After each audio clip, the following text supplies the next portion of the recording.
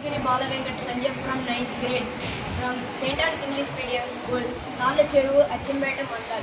Freedom gives life, life for the slaves, life for the suppressed, life for the downtrodden. As we celebrate the 78th independence on 15th August, let us remember our sacrifice for our forefathers who shed their blood on freedom fighting. It's not just simple to celebrate a day, but fulfilling our dreams our dreams and walk and for our ancestors and walk in the right path. So our world is editing for so many bad habits. So all members try to change their activities. It is the gift for our forefathers and be a good citizen of our country.